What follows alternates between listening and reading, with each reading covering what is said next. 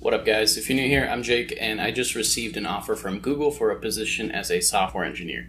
I had to do a lot of preparation for my interviews, and I want to provide some tips while they're still fresh in my mind for those of you who have upcoming interviews in 2021.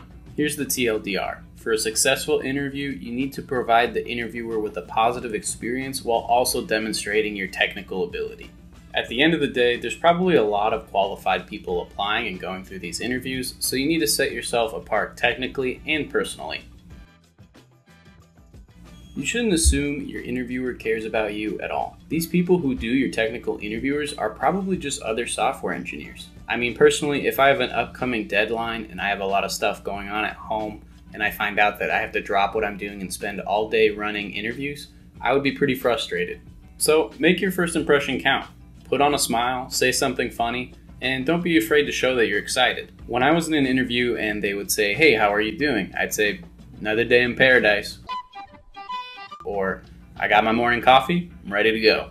Now, I know that can come off as sarcastic, but I'm starting the conversation and letting them know that I'm relaxed and I'm comfortable, and they can express themselves that way if they want to as well. Of course, not every interviewer wants to be friendly with you, but you need to at least make the attempt. We all have some level of experience that extends into this interview, but you really need to respect the balance between your ego and your interviewers. What I mean is, unless you're 110% positive that your interviewer provided incorrect guidance, you shouldn't be arguing with them. Here's some contextual examples. You're struggling, so your interviewer gives you a hint that you might want to implement a hash table. You think a hash table might work, but maybe a linked list is a better option. You should just use the hash table.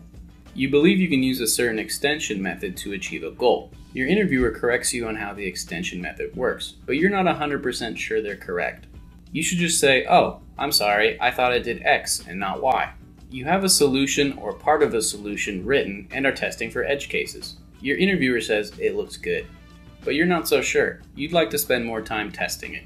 You should just move on. The point with all these is that your interviewer has provided you feedback, so you should respect it and do your best to implement it. We've heard it a million times talk through your whiteboard problems out loud. But if you continually talk through the whole interview, it becomes difficult for your interviewer to interject with clarifying questions or even a hint. When you're in the second half of the interview, whether you're finishing up pseudocode or writing your solution, if you notice your interviewer has been silent for 5 or 10 minutes, feel free to pause what you're doing and check up on them you can ask them, Does what I've done up until this point make sense? Or, I think this approach will work. What are your thoughts? Your interviewer may have just been checking their phone or have been checked out of the interview, so this gives them a good opportunity to ask a question or provide a hint. This again ties into making your interviewer feel comfortable and invested in the interview having a positive outcome. It seems like studying for a FANG interview requires you to learn complicated algorithms and data structures. For my studying, I learned graph traversals and how to build a suffix tree. And honestly, you might run into problems on your technical interview that require knowledge of these things. But most of the problems are just your bread and butter binary trees and dynamic programming. Don't over engineer a problem just because it seems daunting at first. Relax and don't make the problem harder than it needs to be. Look, I get anxious easily, so I understand what it's like to go into one of these technical interviews. But your interviewer is a person too, so you need to make sure that they have a positive experience and get along with you while you're stuck together.